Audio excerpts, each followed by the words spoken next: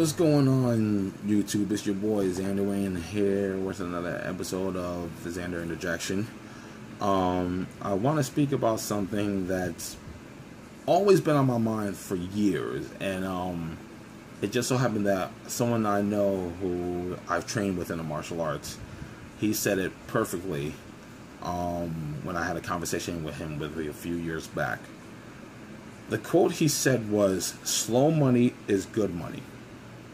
You probably heard an iteration that like that before sometime in your life, YouTubers. Um, if not, I'm gonna explain to you what it means.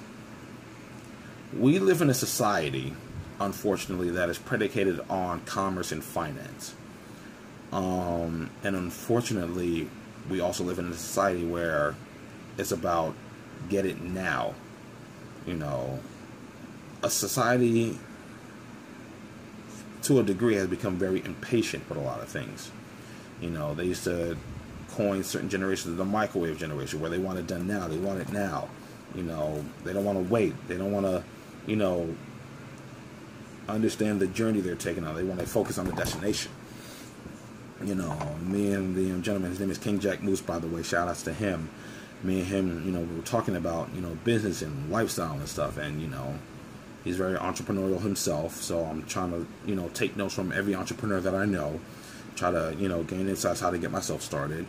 And the one thing that he stuck out that he said that stuck out to me like a sore thumb was that slow money is good money. And basically what that mean is what that means is no matter what money you're getting, it's still good money. You know, it may take it may be it may be a slow burn to getting that money. It may be money that's coming little by little over time. It could be money that you're getting right away. But at this point, living in America, slow money is good money. That means it's still coming. Think about it. What kind of situation would you be in if all the money you got was just a lump sum? Think about it. You know, thousand dollars right there, bang. Before you know it, it's gone. $2,500. Bam, right in your lap. Boom, it's gone.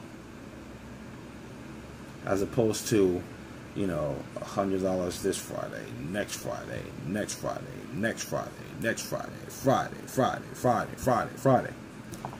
It's slow money, but it's still good money. You know, you gotta look at it from like this. And this is a quote that I, to this day, still say a lot, and I think it still holds true the quicker you get it, the quicker you lose it. That's not just with money. I'm talking about with anything. The quicker you get something, the quicker you lose it. But talking about finance at this point, the quicker you get money, the quicker it disappears. You know, think about it. You know, look at all those people who win the lottery. Now, majority of them, you know, they quit their jobs. You know, go on vacation, spend this, spend that. Then they wind up with almost little to nothing of what they want. As opposed to maybe investing it in something here, saving the rest of it. You know, it's okay to splurge on yourself. There's nothing wrong with that. You know, take a trip. You know, buy something that you really wanted or buy something that you really need. You know, but let the money slowly, slowly, slowly work in your favor. You know, don't be in such a rush to spend it right away. You know, because then you're going to wind up with nothing at the end of it. You know, you quit your job or you said "fuck you" to your boss, and like now, now what? Now what are you going to do? You know, it's all about thinking long term, and I think that's one of the main issues that is plaguing a lot of the minority groups that we're not thinking about the long term. You know, one of the conversations I like to have, especially with my girl, is the um, subject of wealth. You know, Chris Rock talked about this in one of his stand-up specials that, you know, he's not talking about being rich. He's talking about being wealthy. Riches is something you can lose on a Vegas trip and a drug habit. Wealth, you can't really get rid of. Think about it. They always talk about a wealth of knowledge. You can't get rid of knowledge unless you purposely try to. There's always going to be something out there for you to learn. Knowledge is always all over the place money is too, if you really think about it. It's all about playing your cards right and learning how to be patient. Patience is the most important thing the world can have right now, especially in the States. It's patience. We got to learn that things aren't always going to happen when you want them to happen. Some things take time. Some things have to mature and marinate and simmer over time in order for it to be ready. You know, one of the things I usually like to say to a lot of people is that you can only control a portion of your life. There are some things that are out of your control, and there's nothing you can do about it. Now, I'm not a religious person, but I do believe in a creator. I do believe that the creator has plans for each and every one of us. You know, there's certain things that are going to happen to you right then and there.